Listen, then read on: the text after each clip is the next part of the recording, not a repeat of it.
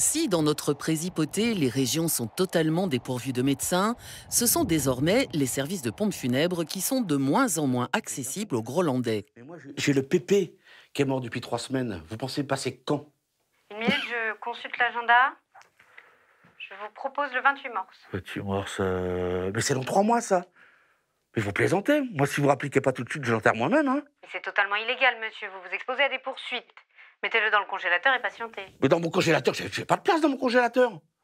La situation est d'ailleurs tellement tendue qu'il faut savoir anticiper. Meurs pas encore, mais, mais on peut t'amener au cimetière que cet été. À moins qu'un citoyen ait violé la loi et incinéré son proche lui-même. Allô? Oui, bonjour.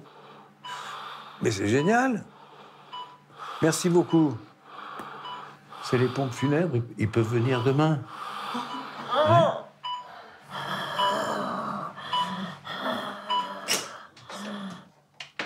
Décidément, il n'est pas simple de vivre et surtout de mourir dans les déserts funéraires.